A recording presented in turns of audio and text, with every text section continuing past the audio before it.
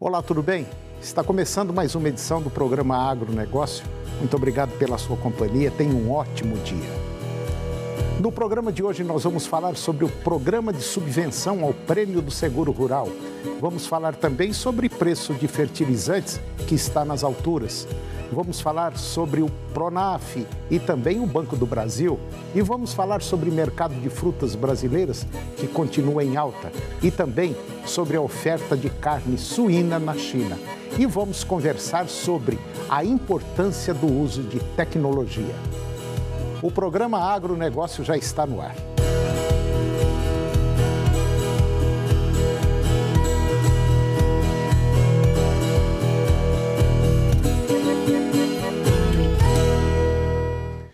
Eu começo o programa de hoje falando sobre seguro rural. O Ministério da Agricultura diz que o programa de subvenção ao Prêmio do Seguro Rural, PSR, aplicou 1 bilhão 180 milhões de reais no ano passado, 34% a mais do que no ano de 2020. Foram beneficiados aproximadamente 121 mil produtores rurais e foram contratadas 218 mil apólices e a área segurada foi de 14 milhões de hectares, 2,4% superior ao resultado do ano de 2020. O valor segurado no país alcançou o recorde de 68,3 bilhões de reais no ano passado, um aumento de aproximadamente 49%. Ainda conforme o Ministério da Agricultura, as seguradoras pagaram entre janeiro e outubro do ano passado em torno de 3 bilhões e 600 milhões de reais em indenizações. 76% acima dos 2 bilhões e 100 milhões de reais pago no mesmo período do, de 2020. No ano passado, destaca-se o crescimento das operações de pecuária, que tiveram um aumento de 109%, o café, 40%, florestas, 22% e o milho, primeira e segunda safras, 18%.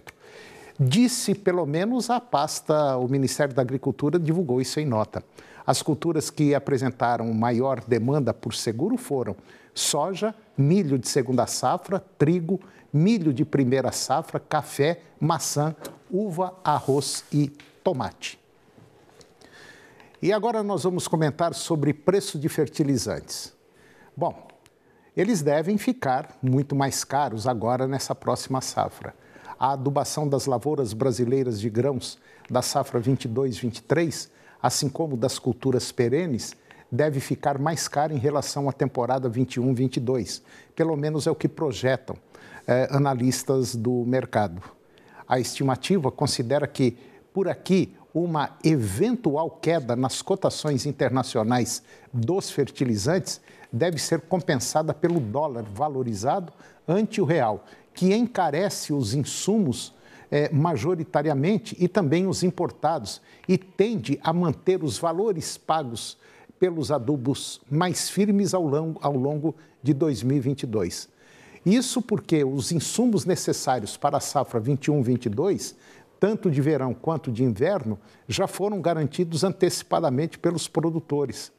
O Itaú BBA, ele prevê que para a soja será necessário que irá ser semeada a partir de setembro deste ano, serão necessárias mais de 31 sacas da oleaginosa para comprar uma tonelada de fosfato monoamono, monoamônico, que é o MAP. Isso agora no ciclo 22-23, antes cerca de 29 sacas de soja, necessárias para aquisição da mesma quantidade do insumo na temporada 21-22.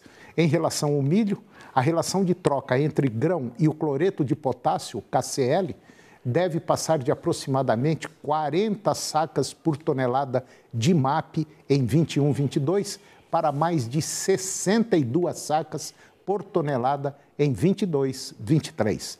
Quanto ao algodão, a relação de troca deve subir de cerca de 24 arrobas por tonelada de MAP para 26 arrobas e de 16 arrobas por tonelada de cloreto de potássio, para mais de 27 arrobas por tonelada, segundo o relatório recente divulgado pelo banco. E agora vamos falar sobre o Pronaf e também sobre o Banco do Brasil. Durante o lançamento do circuito de negócios de negócios agro, etapa 2022, o presidente do Banco do Brasil, Fausto Ribeiro, ele disse que a instituição alcançou a marca de 50 bilhões de reais na carteira de crédito dos clientes do Programa Nacional de Fortalecimento da Agricultura Familiar, o PRONAF. Ao todo, a carteira de agronegócio do Banco do Brasil atingiu 226 bilhões de reais no mês de setembro do ano passado. O banco tem quase 60% do mercado de crédito rural do país. O crescimento do agro traz reflexos positivos para toda a economia. A expectativa é de que a iniciativa gere 1,5 bilhão de eh, reais em negócios com produtores rurais de todo o país. A carteira de pecuária do banco está em 60 bilhões de reais. Já a agricultura sustentável tem aporte de 112 bilhões de reais. Para a safra do ano 21-22, o Banco do Brasil colocou 145 bilhões de reais em crédito à disposição. Mais de 90 bilhões já foram emprestados para 217 mil agricultores e também pecuaristas. E agora vamos falar sobre o mercado de frutas aqui do Brasil. Segundo a Associação Brasileira dos Produtores e Exportadores de Frutas e Derivados, a Abra Frutas, as vendas para o mercado internacional se tornaram, vamos dizer, atrativas e foram intensificadas com a valorização do dólar e também do euro frente ao real, o que resultou nessa conquista almejada já há algum tempo. A fruticultura brasileira está em festa, o setor alcançou a marca de um bilhão de real, um bilhão de dólares, desculpe, em exportações de frutas no ano passado. O país enviou para o mercado internacional cerca de 1 milhão e 200 mil toneladas de frutas, 18% a mais em volume registrado no último ano. O faturamento foi de 1 bilhão e 60 milhões de dólares, crescimento de 20%. A manga foi a fruta mais exportada em 2021 foram embarcadas cerca de 272 mil toneladas de frutas. Ela está no topo das exportações e teve aumento de 12% em relação aos envios no mesmo período de 2020. Em relação aos aumentos percentuais, destaca para o destaque é para a maçã, com faturamento de 79% a mais do que no ano de 2020 e 5,58% em volume. Os envios foram de 99 mil toneladas de frutas enviadas ao mercado internacional, principalmente o mercado europeu, que detém ao todo cerca de 70% dos envios das frutas brasileiras. A uva foi outra fruta que teve grande é, aumento nas exportações durante todo o ano. Foram contabilizados crescimento de 55% em volume e 43% em valor. Mamão, limão, melão também tiveram crescimentos expressivos.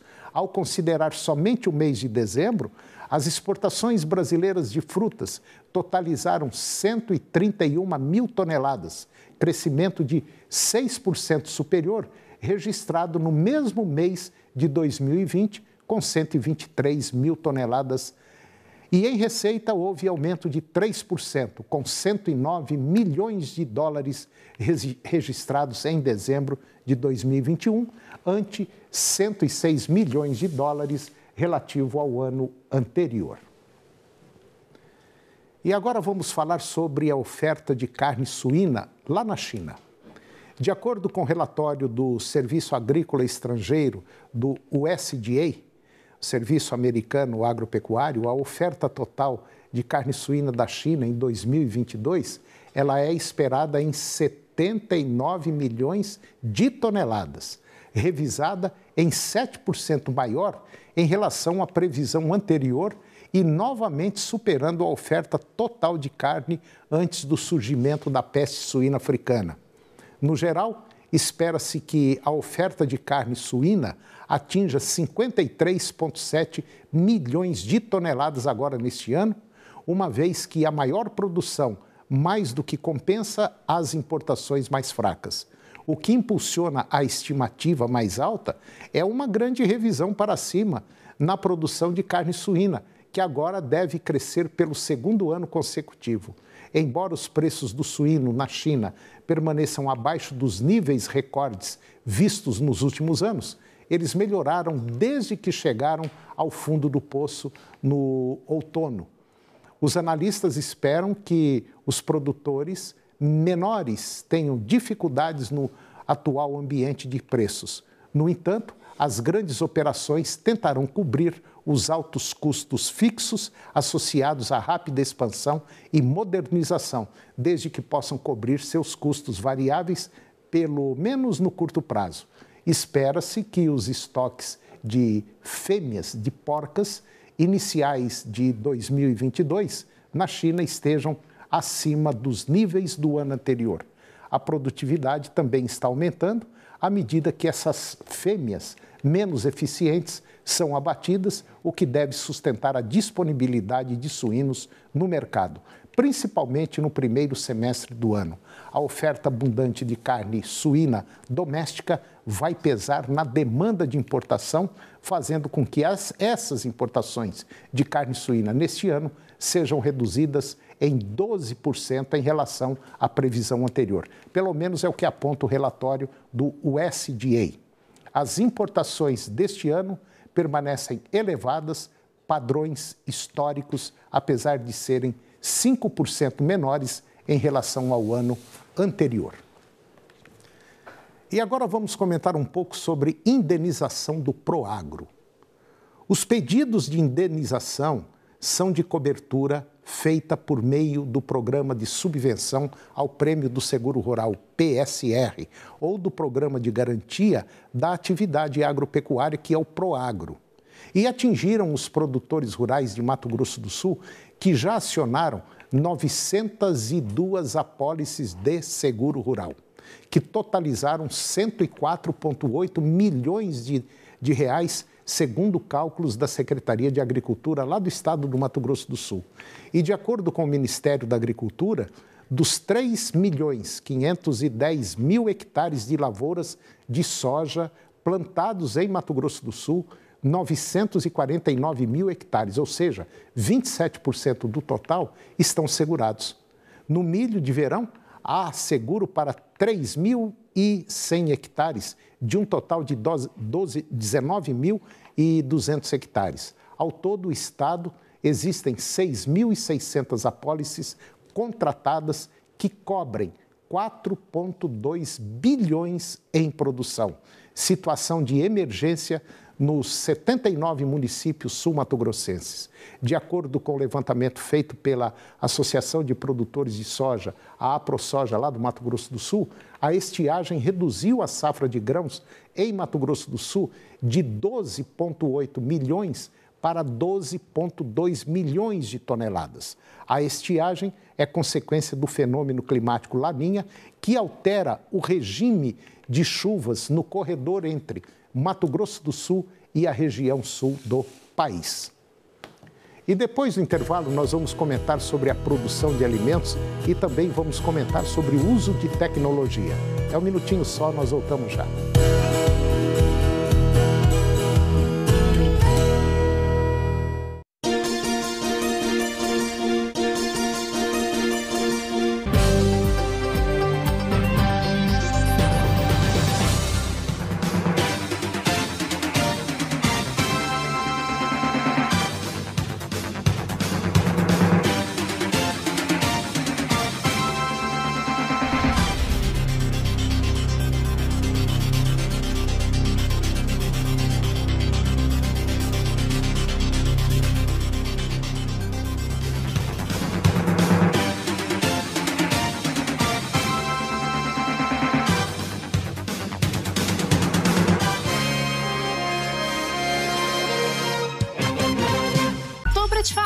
Você já tá precisando de dinheiro para aguentar as pontas. Suas unhas estão no toco de tanto tanto roer. E você ainda vai ficar tentando escolher o banco que vai te dar o melhor crédito? Aí complica, né? É por isso que agora a Voi tem uma nova linha de crédito para você: o empréstimo com garantia do FGTS. A gente faz a sua análise de crédito, o dinheiro cai na conta em até 24 horas e o pagamento é só uma vez por ano. Tá vendo? Chegou a hora de voar. Crédito com garantia do FGTS agora também é PIN.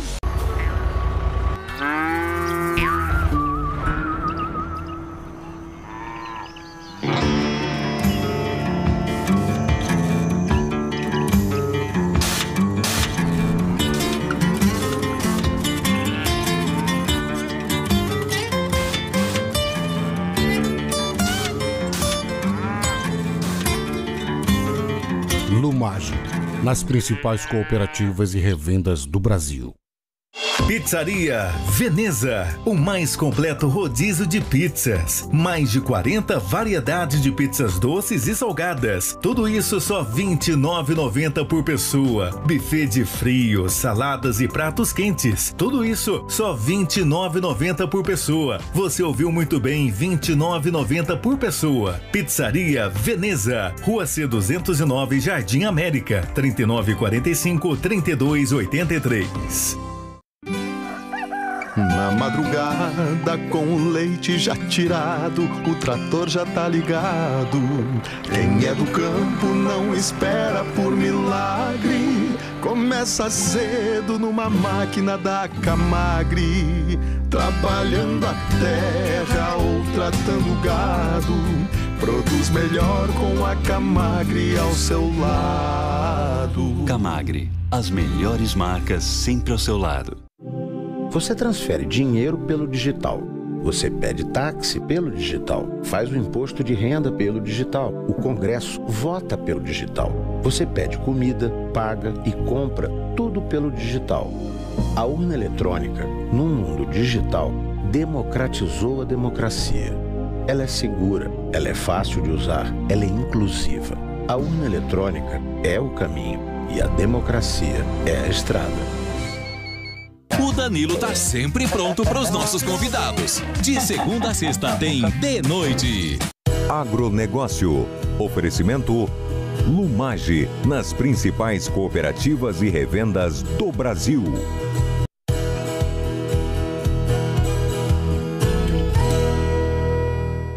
Eu estou de volta ao programa e agora nós vamos falar sobre dinheiro.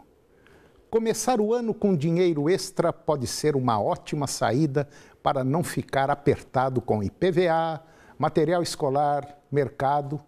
E você que tem mais de 18 anos e conta ativa ou inativa no FGTS, pode começar 2022 antecipando em até 10 anos do seu saque aniversário. Esse é o empréstimo com garantia do FGTS e quem te ajuda a fazer isso é a Voe o primeiro localizador de crédito 100% online do país. O pagamento desse crédito não compromete o seu salário, o pagamento é anual, direto do seu FGTS. Vamos conferir no vídeo. Tô para te falar, você já tá precisando de dinheiro para aguentar as pontas. Suas unhas estão no toco de tanto roer. E você ainda vai ficar tentando escolher o banco que vai te dar o melhor crédito? Aí complica, né? É por isso que agora a Voi tem uma nova linha de crédito para você: o empréstimo com garantia do FGTS. A gente faz a sua análise de crédito, o dinheiro cai na conta em até 24 horas e o pagamento é só uma vez por ano. Tá vendo? Chegou a hora de voar. Crédito com garantia do FGTS agora também é PIN. É uma oportunidade imperdível.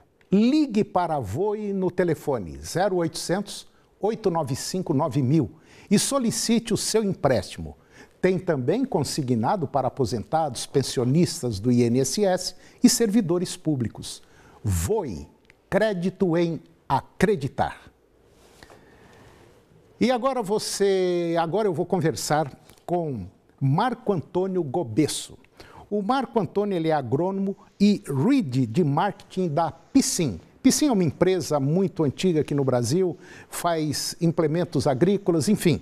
É uma empresa que está aí no, no top, no topo também já há muito tempo. E nós vamos falar de um tema muito interessante. Nós vamos falar sobre adubação orgânica. Marco Antônio Gobesso, muito bom dia, muito obrigado pela sua presença mais uma vez aqui no nosso programa para falar de um bom. tema interessante. Tudo bem? Tudo bem, tudo bem. Bom dia. Eu que agradeço a oportunidade. Sempre uma honra falar com vocês.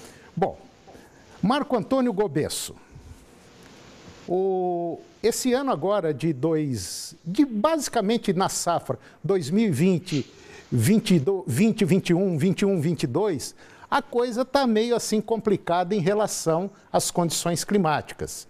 Safra passada muita seca, agora estamos tendo aí muita chuva, já está tendo um veranico, lá no sul é seca, enfim. Digamos que está meio bagunçada a coisa em relação às condições climáticas, né? É, talvez vamos ter aí algum prejuízo, mas nós temos algumas saídas interessantes principalmente em relação à tecnologia, à adubação. E dentro da adubação, a adubação orgânica é um ponto muito importante, né? Sim, sim. É, quando nós, nós, estamos falando aqui de, de veranículo, de falta de umidade, falta de água, mas é importante considerar que é, a condição do solo ela vai fazer diferença é, em como a planta vai poder se comportar num veranículo ou num excesso de chuva. Então, se preocupar com a condição do solo, se preocupar com o trato do solo se preocupar com como o nosso solo vai estar para enfrentar essas intempéries, seja excesso ou falta, é, é muito importante. Isso vai afetar diretamente a produtividade. E o tema matéria orgânica ele entra nessa proposta porque é, nós já sabemos, né, a matéria orgânica tem uma capacidade grande de recuperar a estrutura do solo, de manter o solo mais aerado, de ajudar é, a enfrentar essas intempéries. É, nós estamos observando em algumas propriedades é, em nível nacional, principalmente na pecuária, na pecuária de corte. A de leite também já está acontecendo isso que é a recuperação da pastagem através da agricultura. Isso é um ponto muito positivo para o melhoramento do solo. E também é óbvio, é claro, para o uso de altas tecnologias, principalmente voltadas para a mecanização. Como no caso de vocês, vocês têm equipamentos altamente, vamos dizer, modernos e que ajudam, inclusive, a minimizar um pouco o custo de, de, de produção e melhoramento da terra, né? Sim, sim. Esse aproveitamento de toda a capacidade que nós temos, né, de aumentar a, a, a nossa área produtiva, trabalhando áreas principalmente de pastagem, pastagens degradadas, ele pede alguns cuidados. Né? Uh, a pastagem degradada, o solo degradado precisa ser recuperado. Então é aí que nós entramos com tecnologia. O preparo do solo é nossa especialidade, né? e hoje nós temos condição de oferecer implementos é, para preparo pesado, para descompactação, que é um item muito importante quando se fala de condições de umidade, e também para poder é, trabalhar na correção e adubação. E nessa correção e adubação é, é que entrou forte esse ano também, né, por conta da escassez e do custo de alguns adubos químicos, o adubo orgânico como opção. Na hora de você fazer uma adubação, para quem tem facilidade logística, para quem está perto né, do fornecedor do adubo é, e tem um custo, desse, um custo logístico acessível, é uma boa opção, desde que sejam observadas algumas diferenças. O adubo orgânico ele tem na sua é, estrutura química algumas diferenças é, e estrutura física também. Então, isso tem que ser considerado na hora de, de se aplicar. Ele vai atuar diretamente na necessidade ou não de você ter um implemento preparado. E vocês têm esse implemento preparado para adubação orgânica? Sim, os distribuidores da Piscin, eles já saem de fábrica equipados com algumas tecnologias para facilitar essa distribuição. Por exemplo, as esteiras distribuidoras dos nossos equipamentos, elas operam na, com a mesma qualidade, tanto em adubo químico, na distribuição de adubo químico, como adubo orgânico. Por que, que nós estamos falando isso? Ah, uma característica física do adubo, do adubo orgânico é o excesso de umidade, pode ser o excesso de umidade. Então, nós, nós temos esteiras distribuidoras projetadas para não ser influenciada, não ser impactada por excesso de umidade. Por exemplo, uma esteira de borracha, ela perde a ação na distribuição de um material úmido. A nossa esteira metálica com capacidade de transporte maior não tem esse problema. Esse é um dos, do, dos itens. Quando nós falamos em distribuição de orgânico também, por exemplo, para culturas perenes, um problema é você jogar o adubo orgânico em área total. As nossas máquinas também já estão planejadas para trabalhar com distribuição localizada e até com agricultura de precisão, se for o caso. Você imagine uma máquina trabalhando que ela só vai despejar adubo aonde tem planta. Aonde não tem, ela não despeja. É a tecnologia contribuindo para a gente conseguir diminuir, aproveitar as alternativas e diminuir custo. O, Marco Antônio, só para dar uma esclarecida geral, dá uma diferença assim para o nosso público entender: adubo orgânico e adubo químico. Qual é a diferença de um para outro? Adubo químico, aquele processado, né, vem de origem é, mineral ou, ou, ou, alguns outros componentes químicos. Ele é processado, então você tem no mercado aí quando você fala de uma ureia, quando você fala de uma mistura NPK, quando você fala de um cloreto, nós estamos falando de adubos químicos.